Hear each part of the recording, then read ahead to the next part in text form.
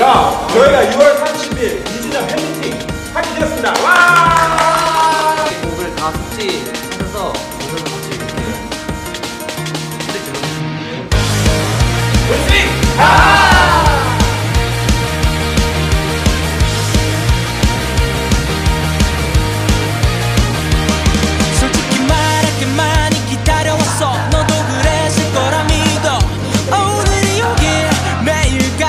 활력을 보면서 넌 너무 내 넌 너무 내 넌 너무 내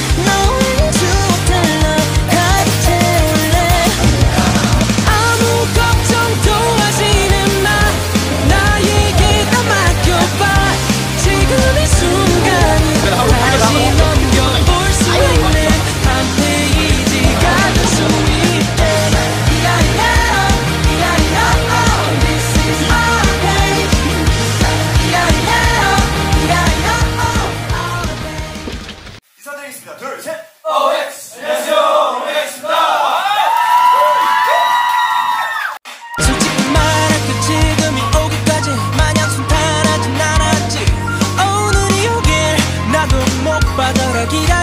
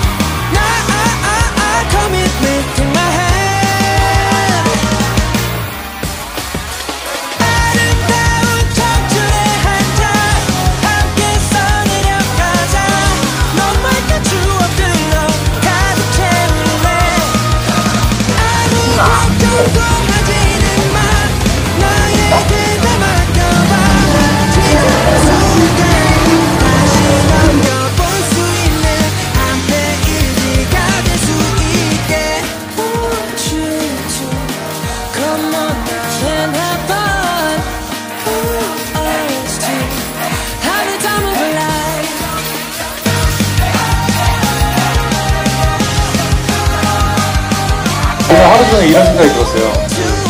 여러분들 이렇게 기다려주시지 않았더라면 오늘 이런 자리가 없었을 수도 있겠구나 이런 생각을 많이 했어가지고 정말 감사하다고 말씀을 드리고 싶었고